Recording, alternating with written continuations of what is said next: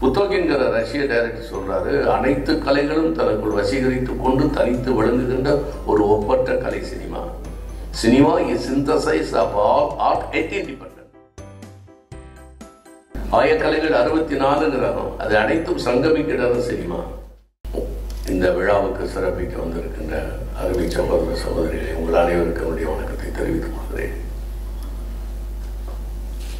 விஜய் சேதுபதி அவர்களுடைய நடிப்புல அவர் சீனராமசாமி மிக அருமையாக மாமனிதன் என்று இயக்கினார். இந்த படத்தை நான் தியேட்டரில் பார்த்தேன். பார்க்கும்போது இன்றைக்கு இருக்கிற இளைஞர்கள் படம் பார்க்கறதை விட அவர்களுடைய அரட்டைகள் தான் அதிகமாக இருக்கும். அந்த மாதிரி என்ன உணர்வு இல்லாமல் எனக்கு முன்வரிசையில் அவங்க தியேட்டர் போகிறாங்கல்ல அப்படி என்னை டிஸ்டர்ப் பண்ணிக்கிட்டே இருந்தாங்க. அதனால் இன்னைக்கு பேச வேண்டுங்கிறதுனால இந்த படத்தை நான் கொண்டு வந்து வீட்டில் வச்சு லேப்டாப்பில் பார்த்தேன். ஐந்து முறை எனக்கு அழுகை வந்து விட்டது. என் வீடு தான் சீனராமசாமி தெரியும் சேதுபதி சார் தெரியும். என் வீட்டில் சின்ன திரையில் லேப்டாப்பில் பார்க்கும்போதே எனக்கு அஞ்சாறு இடத்துல அழுகை வந்துருச்சு. வந்து விட்டது. அதாவது ஒரு மனிதன் வந்து அவர் எங்கே தவிர ரொம்ப அருமையான ஒரு ஸ்க்ரீன் பிளே கேரக்டரைசேஷன்லாம் பிரமாமா பண்ணியிருக்கார். அதுக்குரிய நடிகர்களை போட்டிருக்காரு. ஆரம்பத்தில் கொஞ்சம் மார்க்சிய சிந்தனையில் ஈடுபட்டவர் சீனு அவர்கள். இன்றும் அந்த சிந்தனை கருத்தோட்டத்தில் இருக்கிறார். அதனால அந்த பழிச்சிடு அந்த இடத்துல பழிச்சிடும். மாமேதை லெனின் சொன்னார் ஆயிரத்தி தொள்ளாயிரத்தி இருபத்தி நாலில் அவர் இறந்துட்டாரு.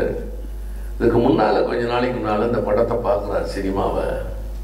பார்த்துட்டு வியந்து சொல்கிறாரு கலைகளிலே பிரதான கலை சினிமா கலை. இப்படி ஒரு திரைப்படம் வரும் என்று தெரிந்திருந்தால் நான் புரட்சியை பத்தாண்டுகளுக்கு முன்பாகவே துவக்கியிருப்பேன் அப்படிங்கிறார். நான் அவ்வளவு உயர்ந்த கலை இது. இதன் மூலம் நம்ம கம்யூனிஸ்ட் கருத்துக்களை சொல்ல வேண்டும் என்று சொன்னதால் தோழர் லெனின் அவர்கள். ஸ்டாலினிடம் சொன்னார் ஜோசப் ஸ்டாலினிடம். இந்த கருத்தை நீ படத்தில் நம்ம திணிக்கணும். அதுக்கப்புறம் டுவெண்ட்டி செவனில் தான் டாக்கி வரும். பேசும் இடம் இருபத்தி ஏழில் வருகிறது இருபத்தி நாலில் மறைகிறார் லெனின் இருபத்தி ரெண்டு இருபத்தி மூணில் அவர் சொல்றாரு. புத்தோக்கின்கிற ரஷ்ய டைரக்டர் சொல்றாரு அனைத்து கலைகளும் தனக்குள் வசீகரித்துக் கொண்டு தனித்து விளங்குகின்ற ஒரு ஒப்பற்ற கலை cinema. Cinema is synthesis of all art yet independent அப்படி சொல்லுகிறார்.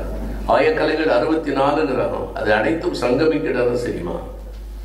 அதுல ஒரு திரைப்படம் எடுக்கிறோம் என்றால் அது ஆடியன்ஸுக்கு அந்த கருத்துக்குள்ள போய் சேர வேண்டும்.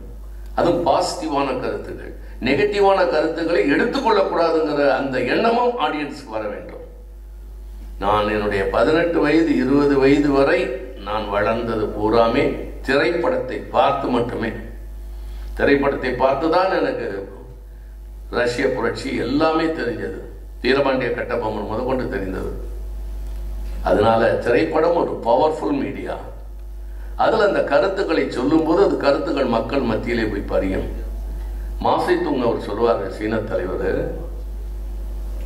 எல்லா திரைப்படங்களும் எல்லா நாடகங்களும் எல்லா புத்தகங்களும் ஒரு கருத்துக்களை சுமந்து கொண்டு வருகிறது.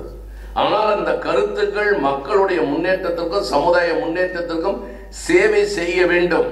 சேவை செய்யவில்லை என்றால் அதில் நூலகத்தில் வைத்து அழகு பார்க்கலாம் என்று சொல்லுவார் அதனால இந்த படம் ரஷ்யாவில் போகிறது என்று சொன்னால் அதற்குரிய மரியாதை கருத்துக்கள் அதில் இருக்கு. விஜய் சேதுபதி சார் பார்த்த உடனே ஒரு பொண்ணை கல்யாணம் பண்றாரு. இமீடியட் டிசிஷன் கல்யாணங்கிறது ஒரு ஆயிரம் காலத்து பயிர் அது எதையுமே பார்க்கல. அவர் இறக்கப்பட்டு உடனே கல்யாணம் பண்ணிடுறாரு. அது ஒரு விபத்தா எடுத்துக்கிறாரு. அந்த கல்யாணம் பண்ணிடும் போது இந்த பிள்ளைகளை எல்லாம் எப்படி எப்படி வளர்க்குறாரு? முட்டையெல்லாம் ஊற்றி கொடுத்து வளர்க்குறாரு. தன்னால் அடைய முடியாததை தன்னுடைய பிள்ளைகள் அடைந்து அதன் மூலம் சந்தோஷப்படுபவர் தான் மனிதன். நிறைய பேர். நிறைய நடிகர் நடிகைகள்லாம் இன்னைக்கு சினி உலகத்திலே பார்க்கலாம். அரசியல்வாதிகளையும் பார்க்கலாம். அதைத்தான் ஆங்கிலத்திலே? எக்ஸிஸ்டன்ஷியல் ரிடம்ஷன் என்று சொல்லுவார்கள். தன்னால் ஆங்கிலம் பேச தெரியவில்லை என்றால் தன் பிள்ளையை இங்கிலீஷ் மீடியத்தில் படிக்க வச்சு அவன் ஆங்கிலம் பேசுவதை பார்த்து தன் மனதிலேயே தன்னுடைய ஆத்ம திருப்தி அடைந்து கொள்வது. அதுபோல தன்னுடைய பிள்ளைகளை ஆங்கில பள்ளியில் படிக்க வேண்டும் என்று மனக்கோட்டை கட்டுகிறார் விஜய் சேதுபதி அவர்கள். ஆனால் அங்கதான் போய் மாற்றுறாரு ரியல் எஸ்டேட்ல அவருடைய செல்வாக்கு மக்கள் செல்வாக்கு மக்களோட மரியாதை இருக்கிறது இந்த தொழிலை பற்றி எனக்கு தெரியும் என்று சொல்லும் பொழுது அங்கு ஆகி அவர் ஏமாத்திட்டு அவர் ஓடிடுறாரு. அம்மி மிதித்து அருந்ததி பார்த்து கல்யாணம் பண்ணணும்னு பெண்கள். ஆனால் அந்த அம்மிக்கல்ல எடுத்தே அந்த பிரதரை கொல்ல போது அந்த கதாநாயகி. அதை பிடி ரணதிவே சொல்லுவார். ஒரு கம்யூனிஸ்ட் தான் கடந்து வந்த பாதை தவறென்று தெரிந்துவிட்டால் அவன் காட்டு விலங்கை விட கொடியவன் ஆவான் பார் A communist is assessment has gone wrong. He will become more dangerous than a wild animal அப்படின்னாரு.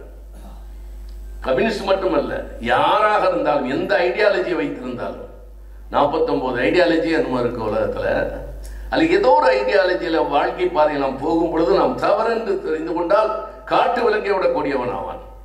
ஆனால் இங்க தவறு செய்த அந்த ரியல் எஸ்டேட்காரர் காசிக்கு போயிடுறாரு. அதே மாதிரி விஜய் சேதுபதி இவருடைய அம்மா இறந்ததுக்கு மாலை வைக்கிறாரு இவங்க அம்மாவை பார்த்து வளையெல்லாம் கட்டி கொடுக்குறாரு மன்னிச்சு விட்டுறாரு பிறகு அவருடைய இறப்பு கொண்டு போய் மாலை வைக்கிறார்.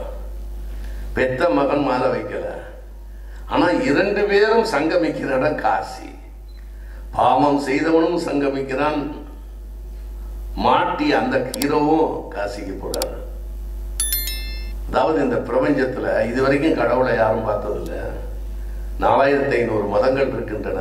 சாமிகளுக்கு எக்கச்சக்கமான எண்ணிக்கையில் இல்லாத சாமிகள் இருக்கு. பிகினிங்கும் என்று இல்லை நமக்கு. நடுவுல தான் நம்மெல்லாம் இருக்கோம். ஆரம்பமும் முடிவும் இல்லாத இந்த பிரபஞ்சத்துல கண்டுபிடிக்கக்கூடிய உண்மைகளுக்கும் முடிவே கிடையாது. இன்னைக்கு உள்ளதுல இந்த ரெண்டு பேரும் போய் காசியில சேர்றாங்க அவ்வளவுதான்.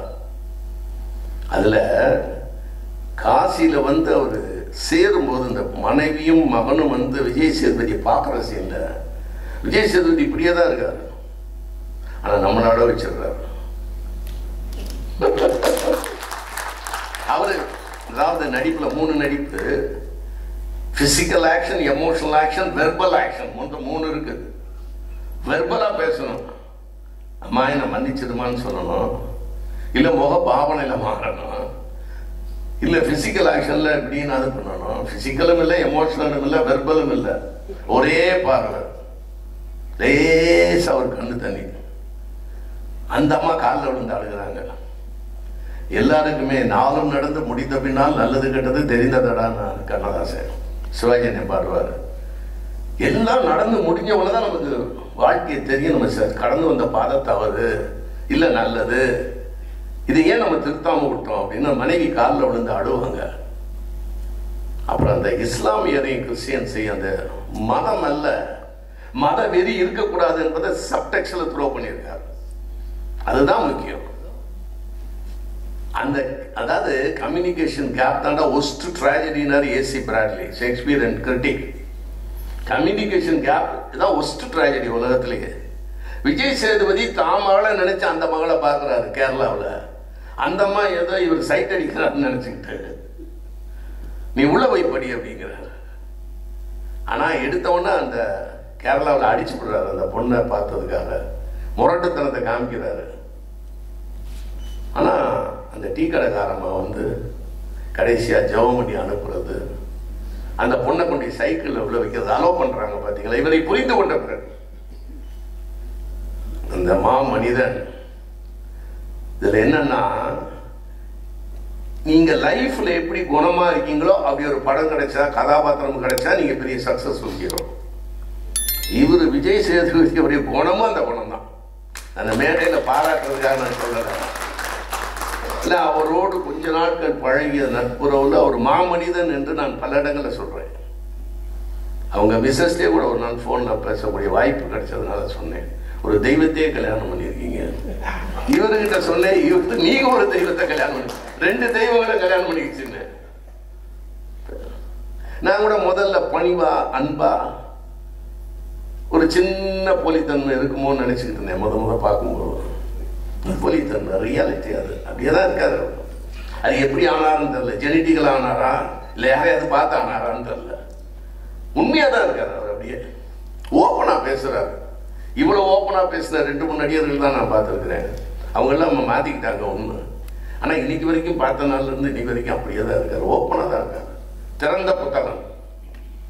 அதனால தான் அவரால் அந்த பார்வையை கொடுக்க முடியாது. அந்த டைரக்டர் கொண்டு வந்து அந்த சீனை நிப்பாட்டினார் பாருங்கள் சின்ன ராமசாமி. அங்கதான் எந்த கண்ணு தண்ணியும் இல்லாம நம்மளை கண்ணு வர வைக்க சார். அதுதான் ரொம்ப அருமை.